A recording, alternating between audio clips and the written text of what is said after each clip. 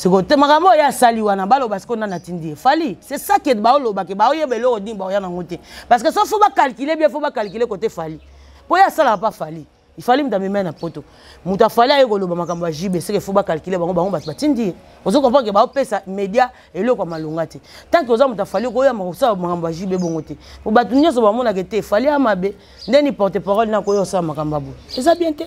loba makambo ya deplique loba ngo sisasi na suka mais ozokota badeparte boka o te musicien nakuta alobaka ateka nzembo 1 million est ce que wana eza question ekomi na makambo na bino ya fere eyeolukani o te fere kutu abeta didas bo ekomi na makambo na bino ya nani ya latino eyosala nini o kutu fere alobaki bo ekomi na makambo na bino bawario eyeoluka nini bosola makambo na bino bango mpe basola makambo na bango polemike wana ekosila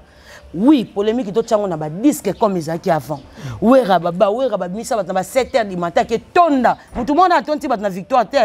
album ebimi e bawera batondisa bato e makolo victoire pleine nzela eza te album awera ebimi oyebi yango te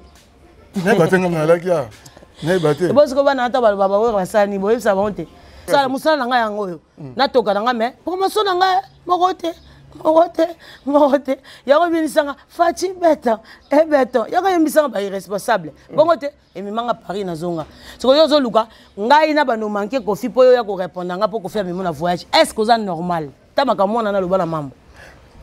moto ayemba baomba aa na mposa moto afingele bato te moto ayemba ayemba batelefone loka weranson aa na mposa ofingele bato te bato babosani mosala nini baoya pembeni ya bato baoya koluka bato alita bakombo na bango moko efulama baboma banuire bakombo ya bakolo orchestre ntango oyo ofinga motu yo mpo oyebi ke ntango ngai na oya na ofingo te na ofinga motu ozalaka na ye mais okontinue kosala yango mbala ebele se kolingi motu oyo bozalaka na ye te parce que ngai na ofinga tata no na mama na yo te mpo nayebi yango te ngai na ofinga le concerné peut-être aza innocent oyo eza bien mpo na koprouve innocence na ye devant monde entier so faire alobi eloko na ye botika yango econcerne kaka ye est ce que analyse ekozala ekozala te analyse tosala yango bien mpo na mosala ya normal mm. bakempoli euti na makambo wana avi ya motu asali émission ekomi ya baanalyse te bobomi chronique nga kutu chance natika biloko banda moi mm. avi motu aleki amikumisi asali eloko nde na sentiment na ye bino bolati bilamba mpo okomisa yango analyste analyse oyoka kutu ye alobi yoka kutu ye alobi place mabe ekoti parce que moto wana mpe oyo koyamba ye mpe aza besoin ya visibilité ma otala teke aorepresente orchestre mo quelconque ntango bato ayana mpe bakomona ke yo yo boye eloko lider na bango alobaki place guerre ebandi mais esprit na ezalaki bomwana minere oyo aleki baminere nyonso ezalaka mobali minere ya mwasi azalaka te mobali nde aza minere eh. yo omoni te mopapa abimi na mwana na ye omoni yango te soki papa akomobima na mwana ekombe elefana moto mosusu mobali azalaka bebe eloko nyonso amonana na miso e apreciaka ye mpo na nini baminere nyonso baa na mokili bareklame bongo te kaka tour no minere yo reklame intention nini yo oyaki na envers moto wana okoya mpe epa motu oza na idée nini mpo etension ekoma mabe mm. parce que baminere baza mpe bela aleki bango ndeni akomi kaka na kiminere na yo biso mpe toyaki wenge 13 ans lelo toloba teke baviola biso soki na idée nini parce que okoyela motu fo oyeba idée nini oye na opa motu bino bapesaka mibali foti boyebi batentation mibali bamonaka te biso bato ozala na mibali na ndako tokoexplike bino makambo alobaka eta moninga no atikeli nga doro flash sikoyo yebisanga flache oflache te ya nani aloba mais mm. est ce que yo ozo comprendre mpe te keno na nsima mpe eza na balider oyo mpe baza mpe ya la base ya bamakambo wana parce que bato ebele bafinga tomona bango basali na derrière bamusicien ebeleebeleekosila ndenge nini sikoyo edepende kaka te funa ya mamda fingi moto voilà tobomi media biso moko bata media oyo yamba moto asala chronique te azala journaliste te eloko taye koloba nini attaché de presse adi quoi porte parole elingi olakisa nini est ce que moto oyo yamba aza porte parole bokoyambi nde n'importe qui bopesi bango privilège bamanke bamusicien bobebisi ti mais bamusicien mpe bapesa bango crédit bopesa bango crédit bino boyoka yamba bato bokomisi bango on fait l'analyse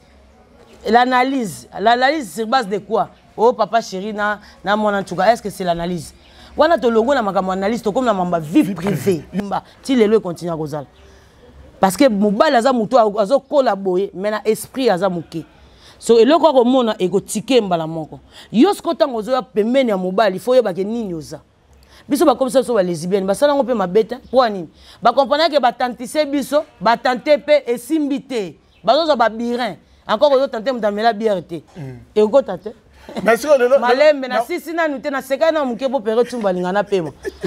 ozota te motu sikoyo opasole tomba te motu alangwa te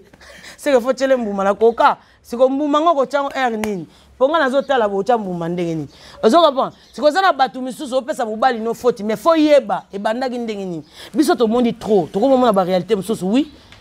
tala moto ya motema mabe lokola mwasi aza te bavoisin koma moto asala emission na lobi yo otiki makambo na bino ya orchestre okoma osala yango analyse bazotuna mpe question na yo ozorépondre se kozala na mposa okota kuna tika bato na bango moko basala baanalyse na ye bino mpe bosala baanalyse ya orchestre na bino yo mpe ezela lider no mokolo ya koloba bayo tuna baanalyse na yango pourkui bayo tuna analyse ya orchestre oyo soit disa boyokanaka te seke toyeba eloko topesa te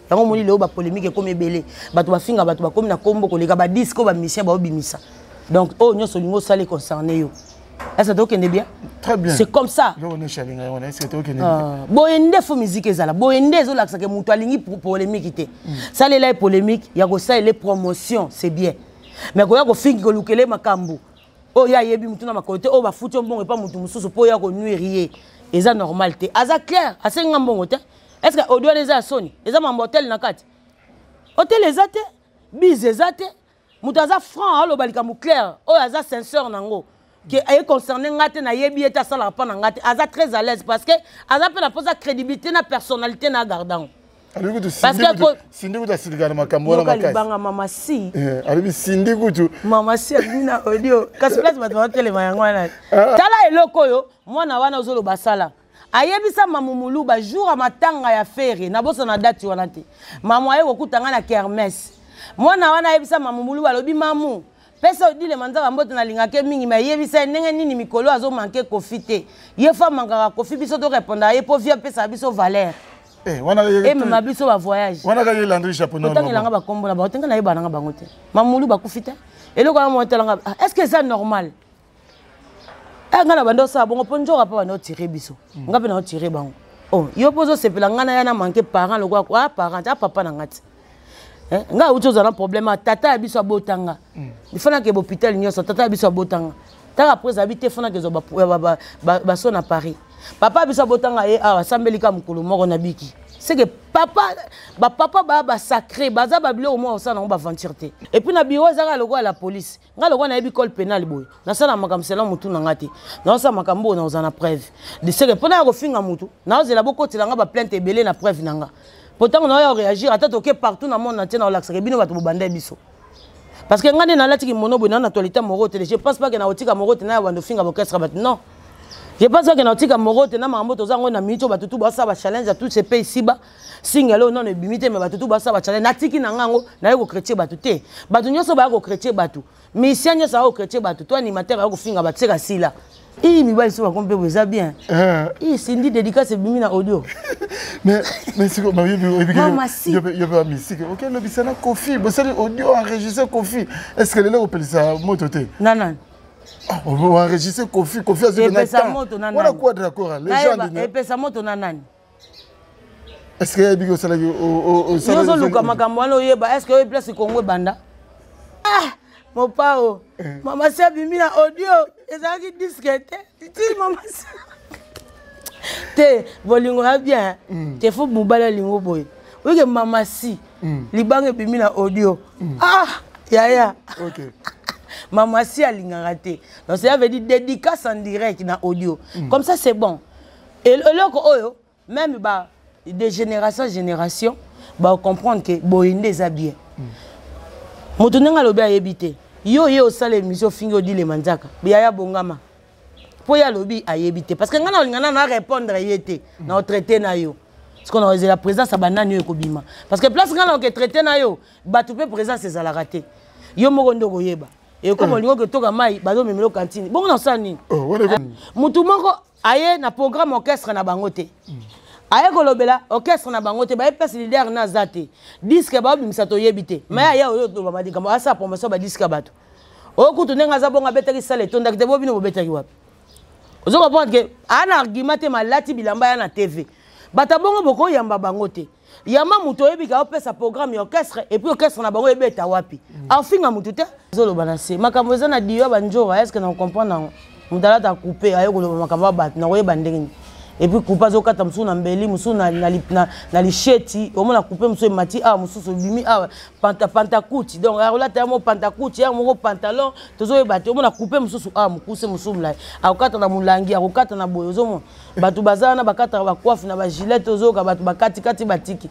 eh, moto azokata kwafi mwana mwasi akata kwafi ese mambo asala eza normal aza na fidèle na kibomwasi te eske akozala fidèle na mokili ye akoboma bino mpo na mbongo ese moto abongo makambo oya kosala ngai ekoconcerne ngai na nini ana passeport de service te okozwa ngo ndeni okozwa te okotamboka na passeport ya bangulu olobi olobi olobi ya motu moko aza sans sans sans identité eyebani te donc akoloba oyo alobi oyo bosiko département ya ye nango eza département na ya fali or à l'époque musique ezalaki bongo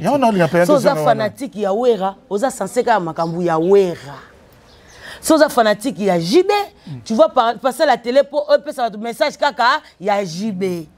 amwake biso na mosaka peut-être tokoti na etiraillement wana ngai nakoya mpe nabeti bango mwa dikidiki mpo na ndenge awenge makili esengaka feso esote amoke ngai nasankaka peut-être toza na mwa eloko moko doda na ekoti soit na pire ojo bien na papier le poince ou bien na nani wana tokotuna ngai makambo ya neni bino kuna bosotie makila mais tant que toza na yango te chacun il faut aloba asala promotion ya orchestre na bango il y aura pas de polémique badevoir eza ebele eh, yango biso todula badeba sterile wana tebaobenga sikoyo tobanda obenga likolo bongo eh, eh. so tobengi likolo likolo ereconnaitre yo toye sikoyo kosimba sikoyo likolo guerre ebandi mpo nga so nalati sengle tatouage libanda obosana nga so tosimbi likolo likolo elobi ke koki oloba te guerre sikoyo ebandi omoi te nde tokendaki likolo bongo te ah c'est bon seke yo oza problème na nga mm. donc luka de anganga bien bato na média te bofingisisi biso na nko tosali nini biso toya kopesa information na message ya orchestre na biso lelo tokomi ofinga na nko oyebi moto aofinga moto na nko oyebi retombe ya kofinga wana mpo aninga afingaka bato koleka bato tu mpo naya kofinga na kanda mpo eza volonté na nga te mm. volonté na nga eza nalanda makambo na biso to nasilisa nasala bapromotion na biso mm. bino bokomi osalela biso bemission botika orchestre na bino bozo chrétien biso aire nyonso ntango ngai nakoya naosala émission mbala ebele te bozwaka ndika moko ekomi ebele na bapage mpo ya nini mpo bozoyebisa baporte parole na bino te nini bakoki kosala voilà mosala nini nasalaka il fait quel travail chercher des problèmes ese omona ya osala promotion ata ya légende na bango eza kaka afingi fali afingi eh, jb afingi wera azongi ndako aki ofanda ntango yo osali bongo bata fali bafinga nani ah, adide nzita azala wati bafinga nani ntango baofinga nani yo ofingi fali yo oza moto akofi bata fali oyo bafinga nani papa na bango yo fingi wera nga moto awera naza ozi yanga nafinga nani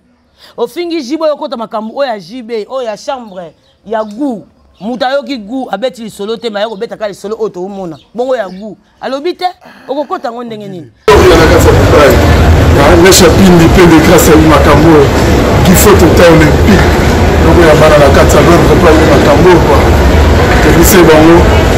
kotuna te mpo bake na mbunda kota ya kobeta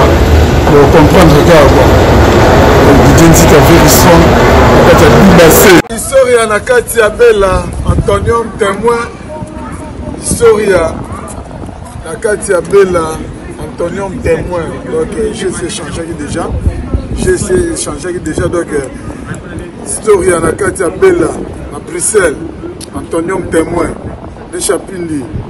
Antonium Témoin, Blaise Lomingo Fashion, Antonium Témoin,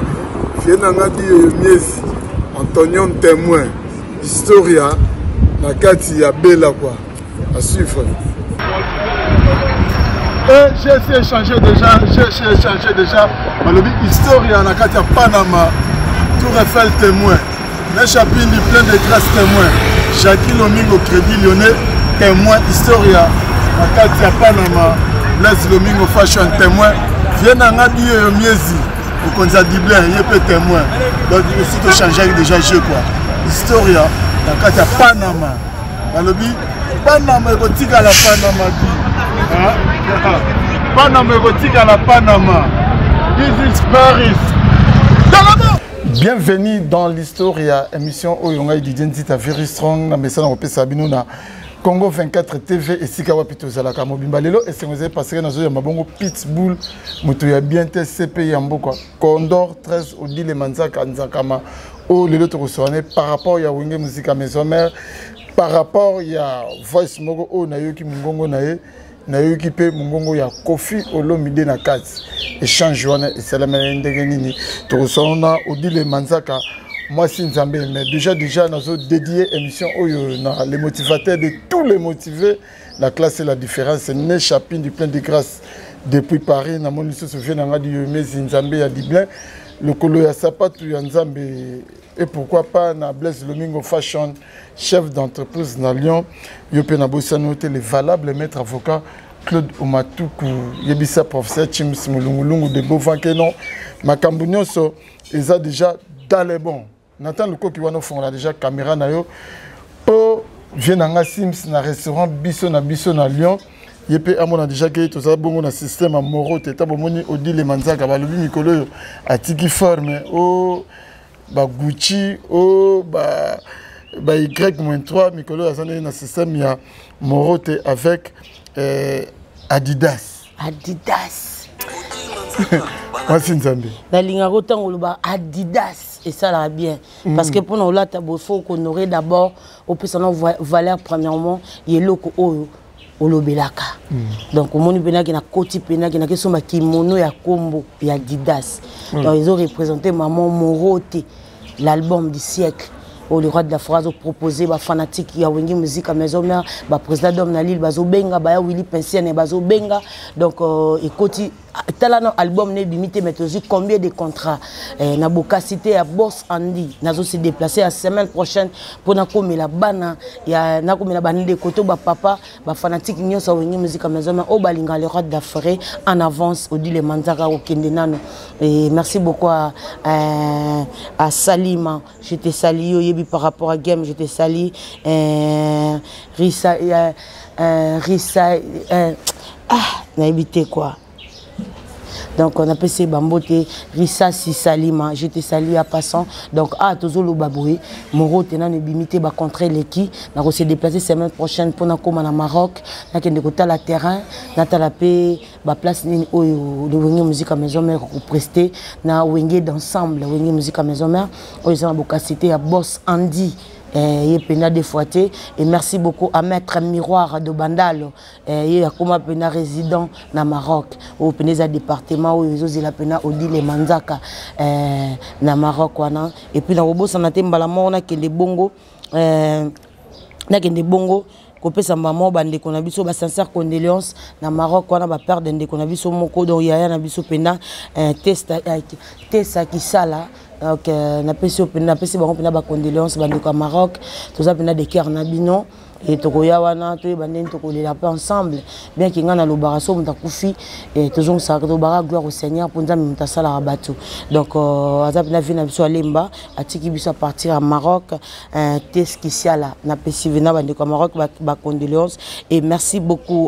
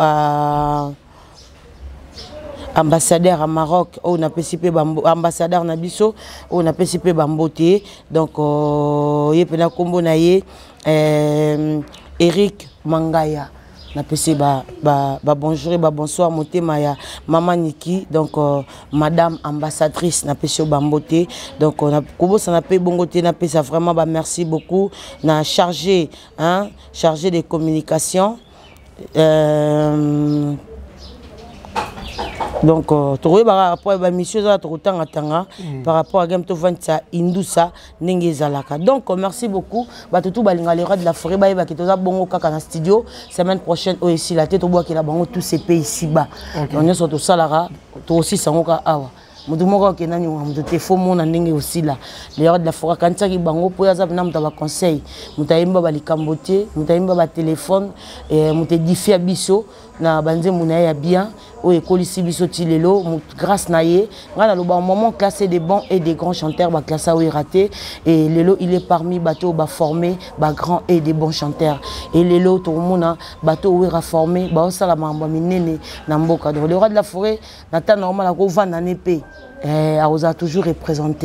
donc euh, mais na temps normal loko aza moto oyo ayaka mpona koforme epuis kotambwisa musique kokomisa yango monene akocontinue toujours eh, koforme epuis barikitema ezocontinue toujours toza bongo chaque mardi mercredi na rompo kipanza epa bos ibra donc euh, bos eh, toza bongo na rompo kipanza epa ashida niko moto pamba napesi yo bambo te papa yoyo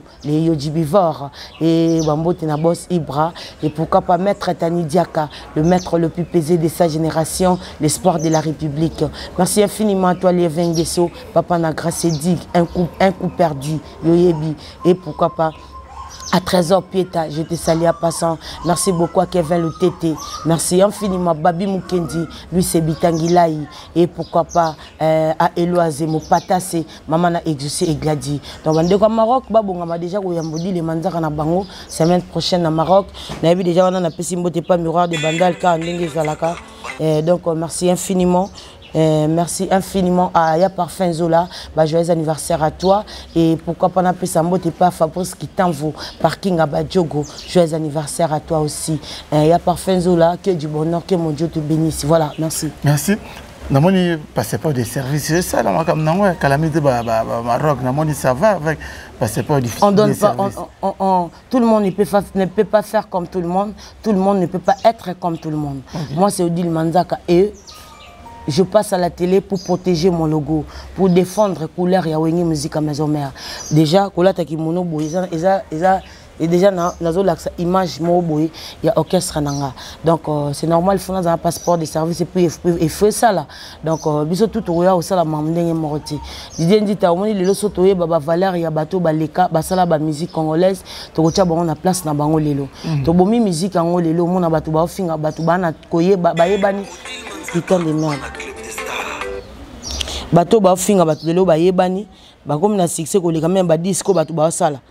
parce que ye azoya wana na boule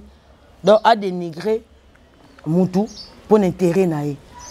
aotala na intérêt orchestre na ye te mm. nga mpona répondre moto natalaka ifo ekoma 5 mission après omoni nga naye korépondre siko réponse na ngai ekozala moko mais ekoma ebele mbala moko mpo eh, pitibul te mm. nalia mwana na sa spectacle na moi omonaka te Okay. Eh, mauvais souvenir ya bacongolais donc kofinga wera eza loko otyeli nga bacrédit obengi nga donc ntango ozobenga nga na otala su teke towana diske na studio mm. parce que bino mpe ntango bofinga ondire bino mpe boobongama na eloko mobo mm. mais bolongo nao na route wana bokomi nao na kota kotumbola bato mm. donc seke biso mpe nga mpe nabosana nanu na ye nao kotumbola epui naozonga na promotion mm, eh, okay. eh, po ntango nao répondre nalatiki mono te naosala mama promotion ya moro te mm. mais nao répondre mpe kaka nanu voilà donc ngai aloba so ofingi wero otie nga bacrédit obengi ngo dile manzaka yaka ntango na oya osupporte nga te cela veut dire ntango oleka na tv lobela na oka orchestre na bino ti osilisa to tana so obeta bavie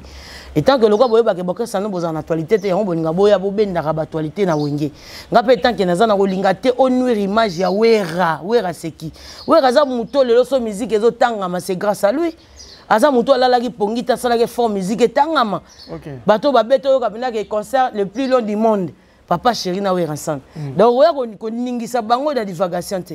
tant que cp ya mboka aza nakotya motu bokata me bango te voilà merci euh, mpo na kende droit obi na olinga toyoka nanu merci euh, beaucoup euh, bon séjour à toi à paris notre cg junior katakata papi kakol se bono motema ligne d'énergie et pourquoi pas à dr pichu mosungu président sami je te sali ya passant merci beaucoup président basexi transparent ma maman chérie d'amour adorée maman sidéji mampata je te salue, exaucé et gladi et merci infiniment à mon papa chéri le roi de la forêt merci pour tout et merci beaucoup euh, à notre cordon papier là, Je vous salue. Merci. Voilà. Merci Odile Manzaka. Euh, elle dit Belge, la ville Neuf saint georges depuis Paris à Zotalayo, systématique, automatique, la femme au grand cœur, coudé, rataraté, belle brute depuis Cologne,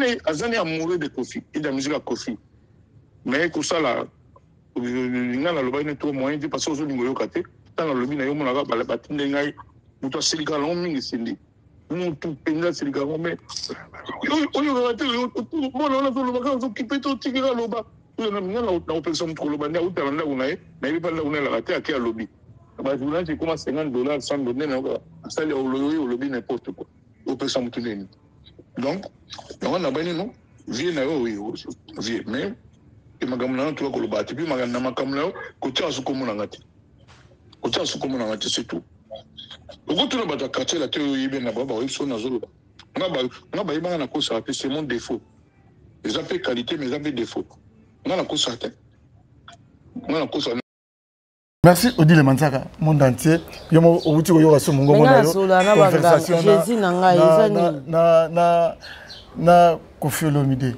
bitsa audio wana conversation wana ezalaki nini toyebi keke eza moka ya werason ya logo na yo mais baconversation boye na kofi olomide yango problème nini non makambo ya bongo il faut ekoma hmm. omoni boye eza bapreuve tangible par rapport ya mosala oyo tozosala lelo hmm. omoni lelo toza na ndeti polémique na eh, lelo eza bato basala bagrand polémique eza kawera na jb oyo bakabola bato soki mpe na bandako kokuta mwana moko moni jibe mwana moko moni ewera mm. ndeti na baplace oyo bakomi nayebi te moto aye mamba bola aoluka bato bafingela ye mpo tekiseleni mba bola te eza na mitwa baparent bayebi ke eza conseil eza tokende bien moto ayemba baomba ana posa moto afingele bato te moto ayemba ayemba batelefone lokola weranson ana posa ofingele bato te bato babosani mosala nini baoya pembeni ya bato baoya koluka batualite ya bakombo na bango moko efulama baboma banuire bakombo ya bakolo orchestre mpo ntango oyo ofinga motu yo mpo oyebi ke ntango ngai nakoya na ofingo te na ofinga moto ozalaka na ye mais okontinue kosala yango mbala ebele se kolingi moto oyo bozalaka na ye te parce que ngai na ofinga tata no na mama na yo te mpo nayebi yango te ngai na ofinga le concerné peut-être aza innocent oyo eza bien mpo na koprouve innocence na ye devant monde entier ndeti ngai boye nayebi kaka ke soki prince bakale ayatake ngai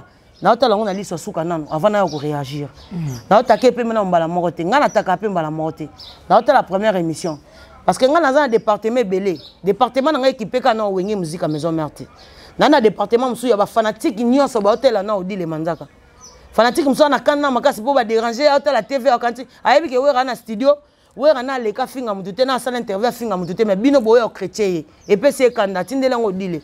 odile yo oyoka teke baofinga wera siko so bakomi 200 ngai na répondre te eza lokola naosepela bango baosepela te na makambo oyo baza yango bezo epa na nga okay. ngai mpe naoyo répondre mpo ngai mpe nasepelisa bafanatike wana avant ekota nao na bureau donc nabandi nao na bafanatike bayoka na gout mhm. apres ah, ko bureau total nde nini torejoindre tosala na bino epuis na bureau ezaka lokola la police nga lokola nayebi cole penal boye nasala makambo sela motu na nga te naosala makambo oyo naoza na preuve diseke mpo naya kofinga motu naozela bokotela nga baplainte ebele na preuve na nga mpo ntango naoya koreagir ata toke partout na monde natie naolakisaka bino bato bobandai biso parce que nga nde nalati kimono boye nao na toileta moro te je pense pake naotika moro te naya bando ofinga bokesaka bato non je pense pake naotika moro te na makambo toza yango na minute oyo bato tu basala bachallenge ya tout ce pays siba singa leo nano ebimi te me bato tu basala bacale natiki na nga yango naye kokretye bato te bato nyonso baya kokretye bato misien nyonso aya kokretye bato to animateur aya kofinga bato seka sila oh. oui effectivement mpo ngai nde nalatiki mono boye naolobela moro te naye kokretye motu seke na actualité te donc actualité na ngai yango kimono na ngai nalati nanu album na ngai ebimi te me nateka yango deya mokili mobaba ayebi ke album moko wera oprépare komo na yango moro te naye vanda boye nayebi ke nde toza boye tose prépare de semaine awa ngai naose déplace naokende déjà donc album na ebimi te toza deya na bacontrat nazobima naoke maroc na maroc naolongwa mama maroc de paris à maroc nakeya suki osimba bacontrat mosusu nauti paris naye kozonga po tomema na toke sikoyo états-unis yebisanga ere natiki na ngai baprogramme na biso nyonso naye na ngai nando chrétien bato ya bato te toza sense ya kolobelaka kaka baorchestre na biso okay. mais lelo oh, malembe okay. bino bato bobomi media bino bobomi yango ndenge nini mm. motu moko aye na programme orchestre na bango te mm. aye kolobela orchestre na bango te baye place leader na aza te diske baobimisa toyebi te mm. mai aya oyo toloba malikambo asala promotion badiske ya bato oyo kutu ndenge aza bongo abetaki sale etondaki te bo bino bobetaki wapi ozo comprendre ke aa na argument te malati bilamba ya na tv bato abongo bokoyamba bango te yamba moto oyebi ka opesa programme ya orchestre epuis orchestre na bango ebeta wapi mm. afinga motu te ndeti mofere aprépare eh, nini euh, eh, double adidas mm, arena oloba mabe ah. adidas adidas sikoyo oyebisanga sikoyo bato bazala na fere batiki na bango promotion na makambo wana nyonso babandi na bango koloba mambo ya jibe oyo te mwana ntuka abimi seke boyebi eloko bosala te fo kobengana bato ya ndenge wana parce que nde bolobela kaka adidas nzala na ntiango bien mpo kimono mpe eza adidas mm. eza na bongamo omo nde bolobela adidas mm. ata boyoki opuku moko ebimi na maison mare eke ekota na nini bino boa sense ya kolobela yango te mm. parce que bino boza deja na produit oyo boye otekela bato okokota na te argument nanu te l'argument vient après mm. l'argument ça ezoya komema français te komoni teke wana tokomi na la police ilendita donc boza na makambo bokolobela oyo boza na produit donc ata boyoki keyo bato kuna basala émission motu mm. boye alobi keye atekaka nzembo na 1 million bino bokosala débat na yango na analyse na yango te parce que moment bokomosala débat na yango botiki bato bayoka programme ya, ya adidas bokomi sikoyo na programme orchestre wana seke bodetourne message mm. odile manzaka aza makambo na wera na studio orchestre ndenge eza boye toza na studio chaque jour eh, vendredi eke na bajour mosusu toza wana tozosala eh, album nga natiki na nga na bande olobela makambo ya papa chéri oyo oh, balobi kuna tobebisi omo place tobebisa makambo ya miziki yango wana or à l'époque miziki ezalaki bongo so oza fanatike ya wera oza sense kaka makambo ya wera so oza fanatike ya jb tu vois passer la télé mpo opesa bato message kaka ya jb amwake biso na mosaka peut-être tokoti na etiraillement wana ngai nakoya mpe nabeti bango mwa dikidiki mpo na ndenge awenge makili esengaka feso esote amoke ngai nasankaka peut-être toza na mwa eloko moko doda na ekoti soit na pire ojo bien na papier le poince ou bien na nani wana tokotuna ngai makambo neni bino kuna bosotie makila mais tant que toza na yango te chacun il faut aloba asala promotion ya orchestre na bango il y aura pas de polémique et puis bopermettre motu oyo botya micro aloba kaka makambo na bango polemique ozala te puis okomona bato oyo bafingaka bato bakosila na musique ifa ezala mais eza loyal loyal mais oyo ekomi lelo ekomi bainsite na belgique sanene trop biso toyaki kofinga bato na media te bofingisisi biso na nko tosali nini biso toya kopesa information na message ya orchestre na biso lelo tokomi ofinga na nko oyebi moto ofinga moto na nko oyebi retombe ya ofinga wana mpo aninga afingaka bato koleka bato tu mpo naya kofinga na kanda mpo eza volonté na nga te mm. volonté na nga eza nalanda makambo na biso to nasilisa nasala bapromotion na biso mm. bino bokomi osalela biso bemission botika orchestre na bino bozo chrétien biso aire nyonso ntango nga nakoya naosala emission mbala ebele te bozwaka ndika moko ekomi ebele na bapage mpo ya nini mpo bozoyebisa baporte parole na bino te nini bakoki kosala me kofingana soki odile yo mpe yo molobaka keno oza moto ya bien te yo oyaka kutu kobebisela bato réputation mais sikoyo lelo kofinga wana banani baya nde na kofinga na musique congolaise osi oloba akeno ah, sera polémique ya bcbg na maison mère c'est bien bon batiraillement ezalaki nango makele bana nyonso te mais kofingana eyalaki te lelo ekoti ntina bavie privée emona koyamba kutu motu mosusu don ozoyeba motomandasantipo alobi ke eza mpasi mpo bamusicien babanda oleka na bainternet ebebi lisusu wani kofinga bozoyamba bato baofinga bango bato basala misala ya pas de place makambo ewuti biso toluka tobongisa mm. soki toluka toyeba place makambo euti tokobanda tuna na nzambe auta wapi biso tokokuta mpe mabe me tobongisi yango na ndenge nazoloba lelo mm. boyamba te motu azoya kofinga motu boyamba motu aye na argument na makambo orchestre na bango adevie mpe te asola kaka ya bango ntina suka yo kasi motu aye basololi kaka makambo ntango mosusu ya patrik bekam na tie exemple mm. est ce que motu orchestre mosusu aye ofinga te mais soki oye na makambo ntango mosusu ya wera odevie oke na makambo mosusu automatiquement tu provoque les gens ndeti ngai nayaka boye jamais na banda motu na tv ngai nayaka korépondre nde motu réponse na ngai nde bato basupportaka yango te étant qu'un chege mais en esprit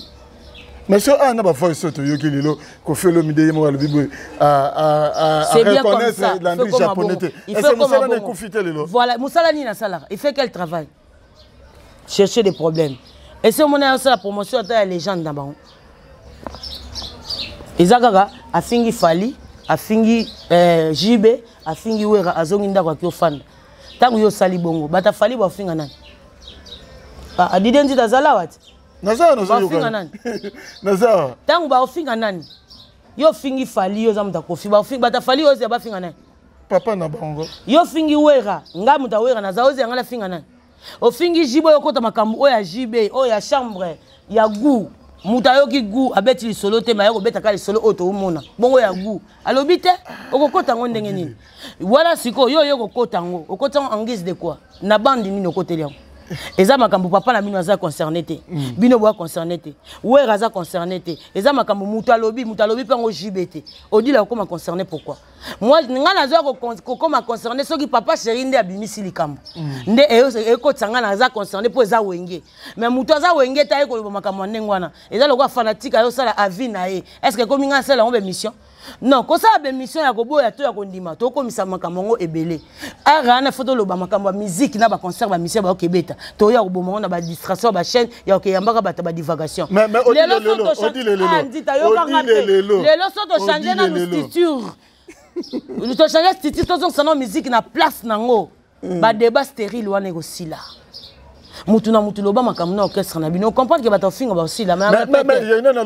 est ce que yo ozo comprendre mpe te ke non na nsima mpe eza na balider oyo mpe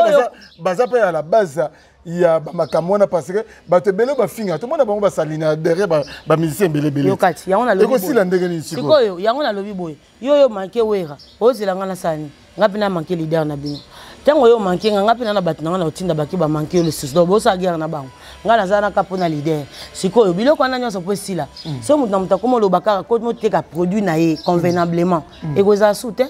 mpo oyo ye otangi nkombo ya eh, ya héritier te ya fere te ya fabrigas na ndenge mabe te mm. peut-être olobeli bango te nde toza bamisie baobeta concert awa ah, toza eh, casino de paris ya fabrigaz toza mpe na eh, adidas arena ya ferre est ce que bato ya ferre basilika parce que olobeli mpe wera mopesi mpe message ya bamisie congolais nani yango ya ofinga o motu te mais aujourd'hui c'est pas le cas eza ke ntango mosusu ferre aleki na tv alobi eloko akumisi eloko mobo bino bokebimisa yango baanalyse o oh, est ce que eloko ferre alobi ana eza bien omoteke bino mobo bomi mais so ferre alobi eloko na ye botiki yango econcerne ka ye est ce que analyse ekozala ekozala te analyse tosala yango bien mpo na mosala ya normal mm. bakempoli euti na makambo wana avi ya motu asali émission ekomi ya baanalyse te bobomi chronique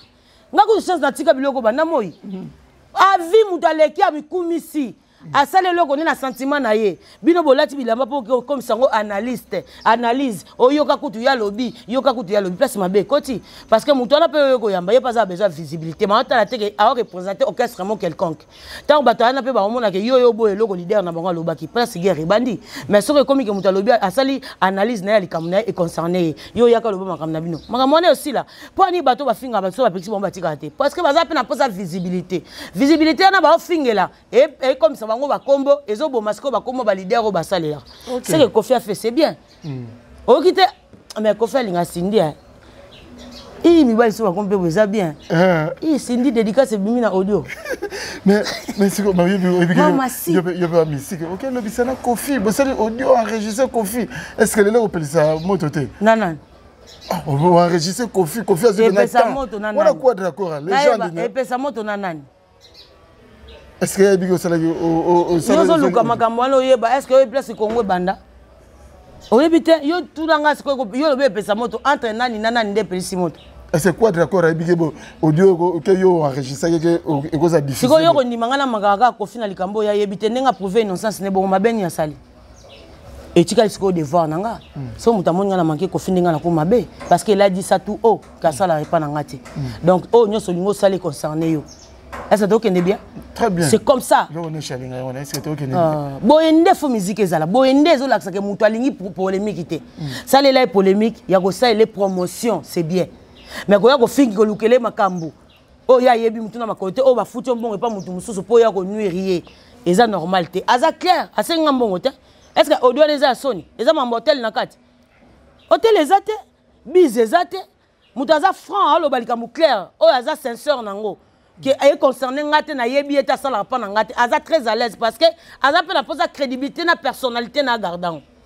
alobi kutu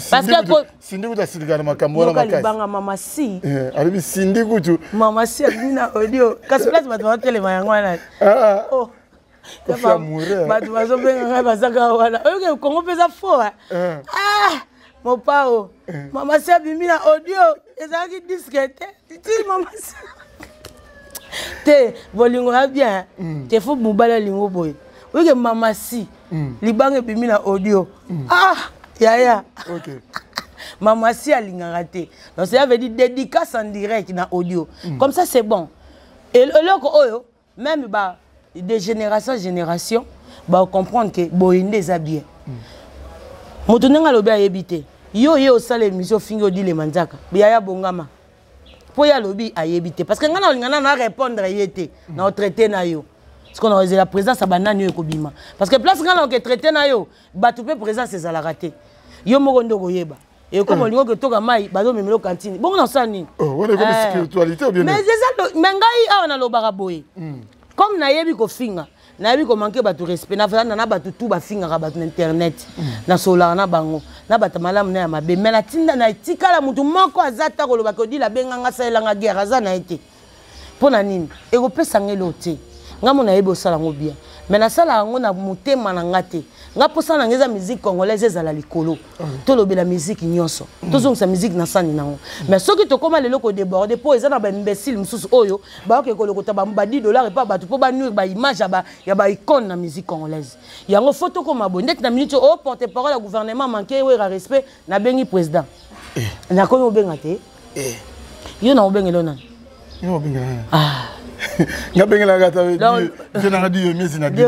dibletoyone chapitre eh, plein de grâce plein de grâce lobela wera so olingi otanga nkomba wera lobela ye na ndenge bien soki olingi te tika ye nga mona kolobele na banda na ye 14 ans nalemba ye te sala analyse na baorchestre na bino kotya wera na analyse na bino te wera banda miziki ya baanalyse te eh, mpo bakóma wera analyse mito komisa bango wera te bango baza bamission batekisa bacd na monde soki obosani oye kolobela orchestre na bino otangi wera o oh. mais lelo odile toko raisonne mpe boye parce que émission na sepe nao makasi parce que ozoki kointerpele bato ke mutu na mutu lobela orchestre na bino oyo kofi asali asali mabe to malamu non très bien très bien mutu na mutu lobela orchestre na bino soki okomisa orchestre na bino ata titina lola kaka yo bino mais kotala nde nzunga ba voisin c'est que boza actualité te ti okela nzunga ba voisin comment mutu asala émission na lobi yo otiki makambo na bino ya orchestre okomi osala yango analyse bazotuna mpe question na yo ozorépondre se kozala na mposa okota kuna tika bato na bango moko basala baanalyse na ye bino mpe bosala baanalyse ya orchestre na bino yo mpe ezela leader no mokolo ya koloba bayo tuno baanalyse na yango pourkui bayo tuno analyse ya orchestre oyo soit disa boyokanaka te seke toyeba eloko topesa te yango omoni leo bapolémike ekomi ebele bato bafinga bato bakomi na nkombo koleka badiske oyo bamisien baobimisa mpo na nini baoke yambe mpo explike misian alobaki nini eza wana miziki susu te ngai nalekaka te ngai so naleki na olobela wera na moro te soki okretiaki naye korecretie na bebiso na réputation voilà voilà olingi mama kota na dédicace te na audio respecte wera merci odile manzaka wana tozopusana mpo tosilisa na biso nana kalamba e pigeon voyageur appellation kasi kofinga nde epesa bango nini yo oye kofinga ofingi wera ofingi jibo ofingi bato wana epesa bango nini te yo ozobatela bafamille na bino bazala so na mbudi soki wapi me baparent bato basala makambo minene na mboka bokomisi bango papier oyebi ke so ofingi omake wera odile akoya kofinga na yo mpo oye na yo kaka oyaki ndoki te fo ekoma boye fe koma boye lelo oyo namoni eh, likambo wana mpe oresoboyeba ndenge okotraite na nga okotraite na nga erni mpo na moi boye tomonana te na kibomoto toyebani te tomonana te tomonana ata mosusu na tv tala eloko oyo mwana wana ozoloba asala ayebisa mamu muluba jour ya matanga ya fere nabosana dati wana te mamu aye kokuta ngai na kermes mwana wana ayebisa mamu muluba alobi mamu pesa odile manzaka mbote nalingaka ye mingi me ayebisa ye ndenge nini mikolo azomanke kofi te ye fo amangaka kofi biso torepondaka ye mpo vie apesaka biso valeur eh, emema eh, biso bavoyageotangelanga bakombo na bango te ngai nayebananga bango te mamulu bakufi te eloko yango motalanga ah, est ce que eza normal eh, ngai na bandi osala bongo mpo nzoka mpo bandi otire biso mm. ngai mpe na otire bango oh, yo mpo ozosepela ngai na ya na manke parent lokola a ah, parent a ah, papa na ngai ti eh, ngai auti ozala na problème ah, tata ya biso abota nga mm. ifanaka ebe hôpital nyonso tata ya biso abota nga ntango apres ezabi te fanaka ezwa baso na paris papa ya biso abota nga ye awa asambeli ka mokolo moko na biki seke papa bapapa baya basacré baza babiloko moko osala nango baventure te aza papa lokola papa na ngai lokola bapapa tout c'est pas dit que soki tozosala musique impoli yango tozoyeba so na bato manke te mais tokomi baimpoli mpani mpo bokomisi biso baimpoli na bashege na bato normal tozoyeba te banani nde baza banani bino bozoya boye loba makambo na bino oye kotouche wera ozela ngai na sani na manke papa bato ntango na manke wana bana nde na bandeko nde baoyoka ndeni ma yo oke na ndako na bino ozwaki 10 dolar pa motu mpo ofingisa ye oke olala no na ndako non il fait koma boye oyo mpenza lelo grand frère na nga papi nzita le grand kan alobaka keno ya certaines émissions mpo olanda yango foti ya baécouteur dekomi onde doki enfant non admi donc mpona 1000 francs mega moto akomakene mpe moto atonga baimmeuble atika atyombobo abandi kofinga eke nango Eh? moto alingaka nga fere mafuni madendo wana ye azomona mambo eleka na internet te mais lelo lelo lelo ntango otali neti émission toloba sindi aza na banzembo aza na nzembo sindi nzembo ezali kofi aza na album boya bosala yango promotion ti so bolingaka bango nini bongo te sindi abimisi nzembo wana ayembaki wana eza bien eh? boya nango na tv boya kosala yango promotion wana bokoya te mais mpo bofingisa sindi na kofi bokoya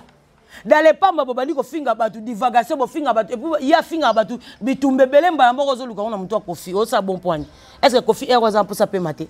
bosalela motu makambo malamu ngai azwa passeport de service mpona kofinga te kimono ti mm. kimono na moi oyebi kilo omoni atoka kasi kimono po ati obongo osala nini osala nini mwana mosala mosala na ngai yango oyo mm. natoka na ngai me promotion na ngai moko te moko te moko te yango ebinisanga faci beton e beton yaka yembisanga ba irresponsable mm. bongo te ememanga paris nazonga sikoyo ozoluka ngai na bano manke kofi mpo yo ya korepondre nga mpo kofi amemo na voyage est ce que oza normal ta makambo mwana naloba na mambo tsona odile okay. est ce que lelo ape ah, vi aboyi na ye tosala ndeni est ce que lelo tokoloba ke no bon partager avis moko on doit changer on doit changer média congolais oyo mpe nauti olanda héritier watanabe na émission alekaki mpa papi mboma alobi ke non alingi na ye lisusu makambo te bato moko bafingaki baya epai na ye vice versa parce que si acomprena déjà jango nde ezolekela bato moko bafingaka kaka bato oh après ye azala na bango lelo makambo yango yango tozobafingaka bato mpe soki olandi makambo bafinga koboya kaka biboyaboya eloko ozoboya yo moko na tata mino ayebi te so mokoni abeta ata bale na nini na 20 mai abeta bale te mai moto abeta concert ya monene yo ozoye koboya e eh? papa bino aza ata chef de quartier te mai yo ozoboya moto oyo akende obeta baconcert na poto eza avoutimant mm. eh? ni chef de quartier tata bino batya ye te mm. papa bino oya na omona so tokelanda na bafana bango nde tofutela mapango bandako bango bafutelaka te omona na tata ya bango na famille bango tu baye bato tu bakola na veni wana donc papa bango mona atyaka porte na likiti na mwana ko monene azalaka mokie donc bapomba quartier ya bachef coutumier aveni omona famille na bango mais soki aye koboya bato oyo basala bato na mokili oyo bobongisa media ko moto mpena alingi asola makambo mosusu te boya yango pesa programme okesa mino loba makambo concert na bino oza sasa okota makambo awera na jibe te ya koloba makambo ya fabrigas loba makambo ya deplique loba ngo sisasi na suka mais oyokota badepartement kao te musicien na kuta alobaka ateka nzembo 1 million est ce que wana eza eza question ekomi na makambo na bino ya fere eyolukani o te fere kutu abeta didas bo ekomi na makambo na bino ya, ya, ya nani ya, ya, ya latino eyosala nini o kutu fere alobaki bo ekomi na makambo na bino bawario eyoluka nini bosola makambo na bino bango mpe basola makambo na bango polemike wana ekosila oui polémique to tiango na ba disque comme ezalaki avant wera baba wera babimisa bato na ba 7 heures du matin ke tonda motu mwana atonti bato na victoire te album ebimi hein no. ba wera ba tonisa ba toi ba kolo victoire pleine zele zate album a wera ebimi oyebi yango te ne ba tenga na laki ya ne ba te bosi ko bana ata ba ba wera basani boyebi sa bango te ke bino na botamisi biso makolo te tokelanda cd bimi wera bimi sa album plein à craquer na nzela kibuse bimi eclipse bato tout ah papa ba devoir eza ebele Eh, yango biso todula badeba sterile wana te bandobenda sikoyo to bandobenga likolo bongo eh, eh. so tobengi likolo likolo ereconnaitre yo toye sikoyo kosimba sikoyo likolo guerre ebandi mpo nga so nalati sengle tatouage libanda obosana nga so tosimbi likolo likolo elobi ke koki oloba te guerre sikoyo ebandi omoi te nde tokendaki likolo bongo te ah c'est bon c'est que yo oza problème na nga mm. donc luka de anganga bien merci plein de grâce ozalaka naye deja olalaka naye parce que okokana te so oza katier kozanga mwa popi na poche te ebakobeta eh, Eh, eza important. Eza important. Bongo ediko bakoma beta koko zanga mwa popi na poche. Oh. Isa shini odile. Banzela msoki na na. Eh? Maître Ninja na peso mbote siko ozali oyebi. Ya ya chou je te sali à passant. Maître Maurice Eloma depuis Paris je te sali. Na peso be ba salam mingi pas maître Odilon Amos le guerrier. Yo yebi ya ya moto. Eh, maman Lili Makaya. Okomisaka bambote pas Zozo Mayulu na Paris wana kaka. Et pourquoi pas ya Pablo Escobar Kabila na Fredicide na peso bambote Trésor Onema Onemaskin elala te et pourquoi pas euh, Flavie Panda ou comme ça bambote Papito Mavungu est-ce que to kende bien voilà Merci tozo kende bien Sipradora Maman na Nathan à Paris est-ce que tozo kende bien c'est là musicien respect na bango na place na bango Ok. Eh, ça la biso bien. Toi, il y a n'importe qui, on peut s'animer. Moi, j'ai laissé mon travail pour la futilité. Hein. pona ba respecter wera nalingi nakota na problème te kodila ayambaki nani afingi nani oyo te to eza retombe ya pa wera na boya yango mais lelo je suis odile manzaka sana yamba bempoli et puis chaîne nanga etalamaka eye dépendre kaka te funa yamba moto afingi moto voilà tobomi média biso moko bata média oyo yamba moto asala chronique te azala journaliste te eloko taye koloba nini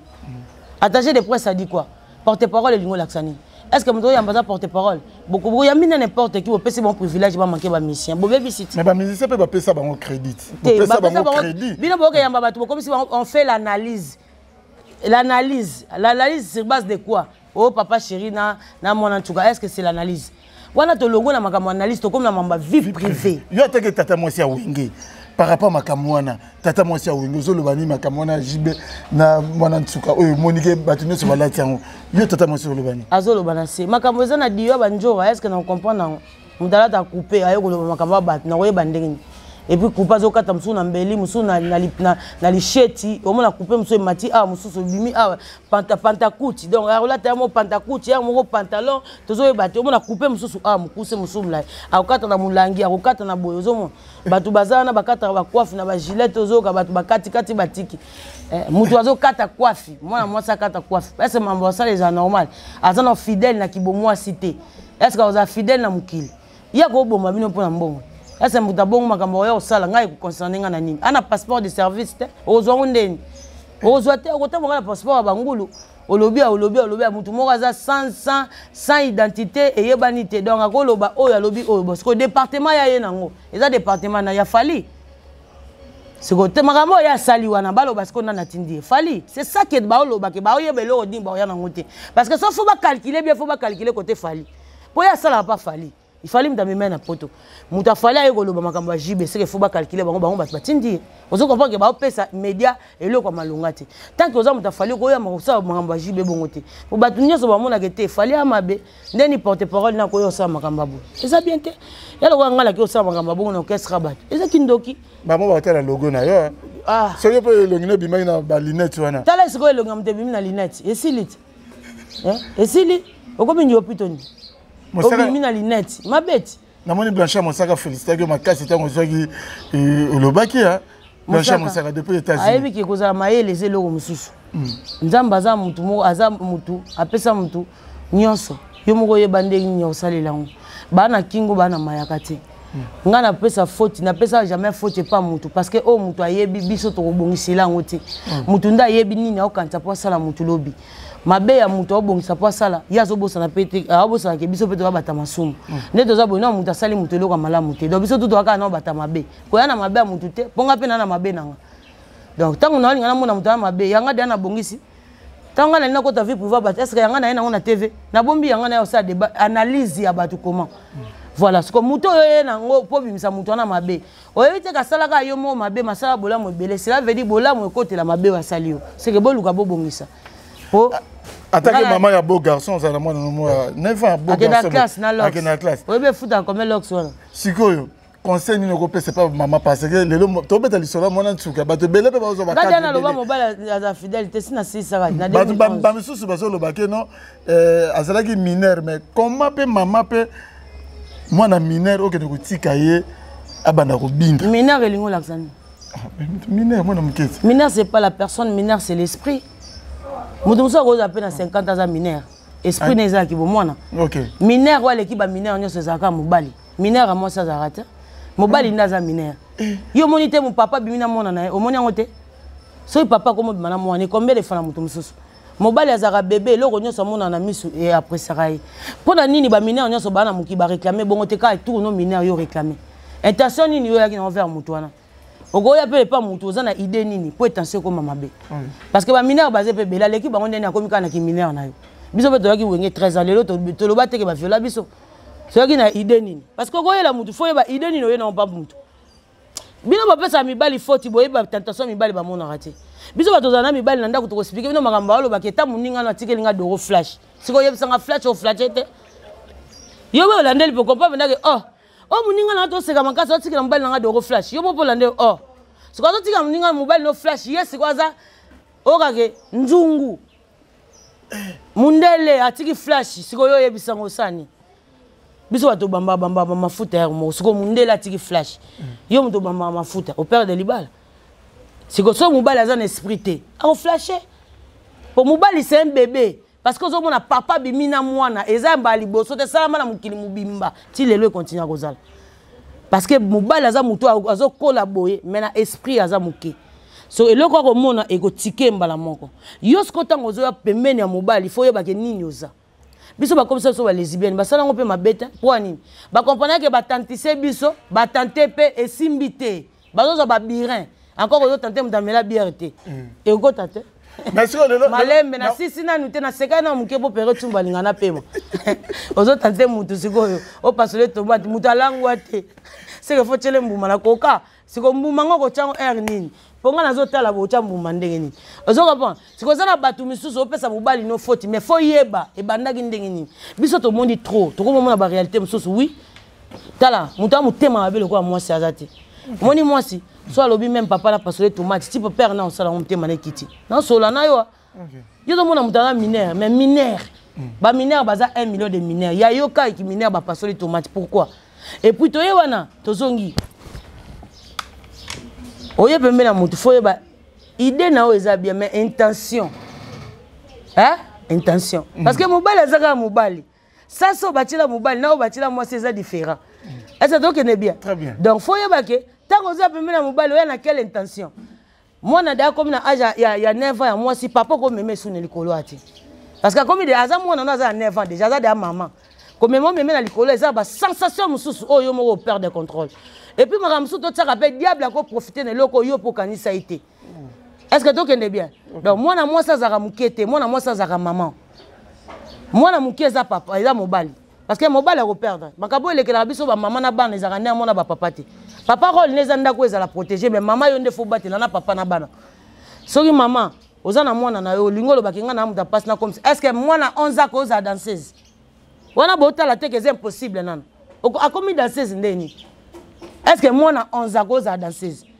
mwana 10 ans akomi danseuse mpo abina nini gu nini azotelema nao devant bato mpo abina ata azwi peut-être viole na mokolo na ye te bongo na nzela biso mikolo towana baconseil mosa public tokendaka te yakenda ye ndenge nini est ce que moto aolinga ase protege to azoprotege mwana moninga oui aosala mosala epa na nga c'est bon mais r nga r naolinga na se protege eza te ke r na protege bato tout makambo bato balobaka eza oyo tomonaka te donc topesa faute toyebi te nani topesa faute faute eza na acte oyo tolobi toloba yango preuve tangible moto aye na preuve tangible tobandi okondane preuve wana parce que eza tangible tozomona mais moto alobi tokoya kokondane te mpo alobi toa na preuve nango te malembe ah, zela nzita oyebi yo banda batio na didas arena na liste namoni okomi kodepasse banzela na liste bongo oyoka nti batio te okobina na bajaz kavulu kuna malani kasanga bato na baprince bakali bayokanani papa rols papa role sizwanga eh, bien eh, tokutana tokutana kala mingi te ngana osala yango bien ozo comprendre donc on peut pas condamner eloko toyoki oyo tomoni ti eloko ezokoma mabe meme na miso ya nzambe mm. soki boye nango peut-être eza likabo mosusu oye nango nzambe mpo ani bayelaka nzambe eloko eza fraîche mpo ayeba opambola yango mm. yo koyela nzambe papier opangusi nini eh, oflashe te i eh, papier oflashe oyeli nzambe obebisi ti pesa ye ata 1000 femme ekopesa ye papier te sikoyo bolie deja botumbi bokausi boyeli biso matiti tokoexplike likasa yango ezalaki ya nzete nini mosisi eza te mbuma eza te tomoni matiti ya kokauka matiti ya kokauka tozopesa yango bato toexplike bango ezalaki likasa ya kel nzete seke ebemela biso eloko en effet c'est que oza innocent yo mpe oza pour yango te eboti na mwana soit disant alelelo oyo koetale biso na tv tosala nango wana ekomi siko amour wana bolingo esi bosali bosali bosali bosilisi etiraillement ekoti yo oyo kobimisa moto wana mabe est ce que meme bato basala baanalyse baza place oyo toza ntango ebandaka na 1 mpo na nini oexplike biso te bino kutu bolongwa na 10 bokoma meme na 100 yaya oyo kokatela biso ka eteni toyebi place nzete ebotami te tosali yo nini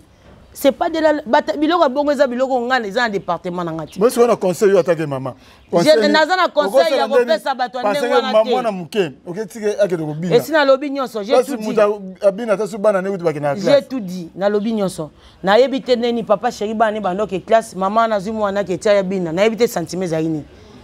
mpo yo moko mpe ozomona ke moto na otikaka ebina bana ne bayoke classe sikoyo oyebisa nga sentiment na yo ezalaki nini abina te me ntango abini kobina yango wana te bongo oyebi teke lifuti ya eloko nyonso osala ozwa lifuti nango bongo te bongo donc faute eza nayebi place na kopesa faute te me nga nakozwa mwana na ngai ya 11 te nake kopesa ye akende kobinaka na mikili boye te meme matembele na koteka mpo mwana na ngai azala mwana mpo lobi asunga nga est ce que tokende bien merci beaucoup merci odile manzaka tokomi na biso vraiment na suka eh, henri mwaka motema yolande foto mabe eza partout mabe ezalaka partout hmm. mabe eza mpena partout eza kaka pa nde tomoni wana te Okay. Eh, voilà. merci conseil ya suka par rapport kofinga oyo nalingi conseil no ya suka parce biso meme nga mpe nakomi na difficulté okoyamba moto osala émission boye mais azokotamaka babaokotamakaomwa bato bato mpe oyo bazobenga mais very song ah,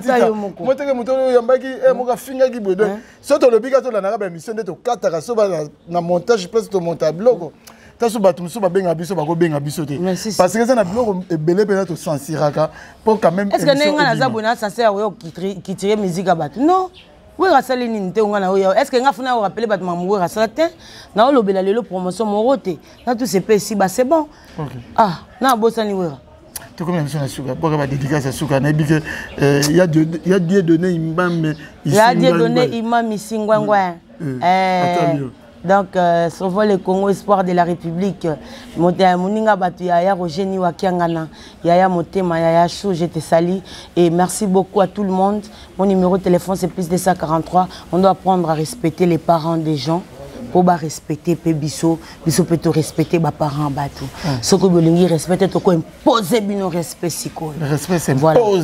donc tokopose bino epuis biso tozongeli mpe wenge oyo tozalaki mwana na nde akomona wana moto ya liboso banzoi mpende ezongi parce que biso ndenge tokocomprendre te tokomi kaka te ma eloko wana te wera mpe na bongo te donc mamfo ekende ndenge ezalaki donc ezala na bongo merci beaucoup à trésor pieta merci beaucoup mon partenaire trésor pieta merci beaucoup à ya alain mokulu je te sali et merci beaucoup à dadi mavungo vungule et merci beaucoup comme ça Hein, depuis Paris, je te salue. Euh, là, c'est... Euh,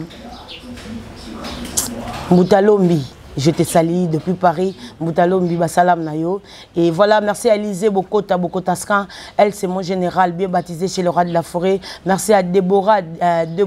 Njashi depuis Paris. Merci à, la fraise, maman la et Ekeke. Je te salue, la fraise. Merci infiniment.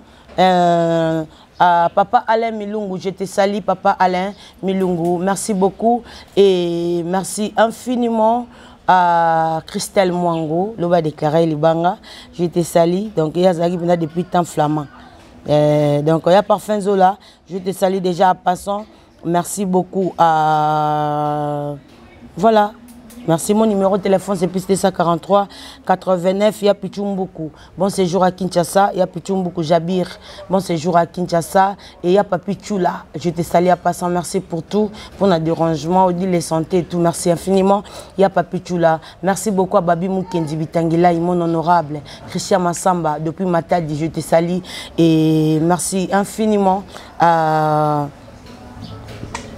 merci infiniment à tout le monde bato balinga odile manzaka donc euh, tolingaka bino mingi magacho makamizile un bon rétablissement à toi spark automatique merci papa alain milungu trésor pieta trésor bolombo les cartes pilar et pierron tumbu poto na poto président bilankolo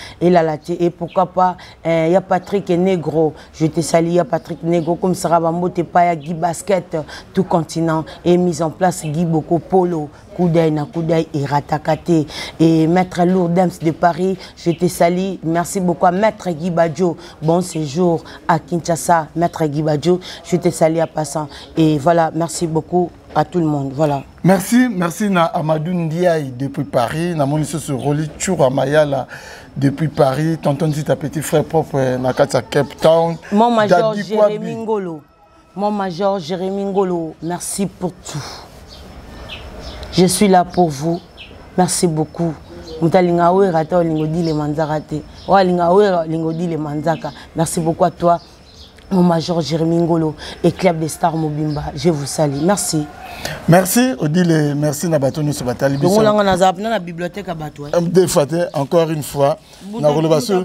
nakoloba su merci na sipradora depuis paris namoni lisusu dadi kwabi le conservateur de grand rôle depuis paris chanel kwabi depuis paris papi kwabi la différence mon ami personnel toi-même tu sais il était comment donc euh, bato botali biso vraiment ebele belle bride systématique automatique la femme au grand cœur coup d'œil ratarate depuis colon na kati allemagne nabosani yo te ne chapindi ne chapindi ndenge atokotshaki na ntongo moni makambo yango nde ezokendele donc vraiment ma décision moko fo ezwama fo baartiste baleader bango moko fo babeta mpena loboko na mesa trop c'est trop biso heure moko mpe tozozala mpena gêne inquiété par rapport ya bapropos bagénérique oyo toyokaka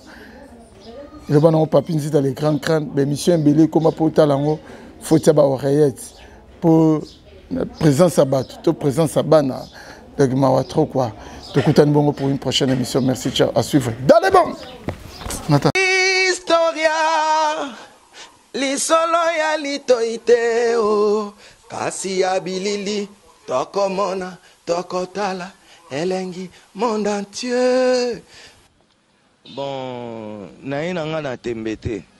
tosala wenge na tembe te wenge ezalaki lokola loisir ti ekoma profession. En tout cas na kamwaka donc makambo tolobelaka tolobelaka tolemba musique congolaise ezaki na ghetto sikoyo ekomi communautaire ekiti susu donc na plus bas niveau ekomi communautaire yango tozobunda mpo tobimisa yango na kati ya communauté na kati ya ghetto tozwa disque d'or Inshallah. Allah Akbar. Likunya esila c'était likunya n'est pas nanga tina francophonie boboyi kochanga problème eza te nakobeta ata francophonie na, na poto ata francophonie mosusu nakocreye deja nkombo wana ozobenga saisai euti na papa wemba omoni kote oyo tozowuta deja je veux dire si aujourd'hui babengaka nga saisai c'est grâce ya nzembo ya tout le monde saisai chanté par papa wemba historia Historia avec Didier Nzita. Na remercier lisusu Werrason le roi de la foret oyo leo na minute oyo Didier nakosa yo te ba musiciens nyonso omonaka bayaka balobaka awa passeport ya liboso Werra moto abimisela biso soso ya liboso apa ba bonne annee na ba feti ya biso ya ba première communion donc boyeba ke Werra tolia yango soso ya mosaka mampata moto alambaka ba musiciens omonaka wana ba fiba misapi na ya maboko na ya makozi donc le tout puissant nzambe mokonzi ye moto asalaka ayeba destin ayebaka yo oza journaliste okomaka mpe badubai pampamba bajournaliste ebele mpe bazokende kasangulu pambapamba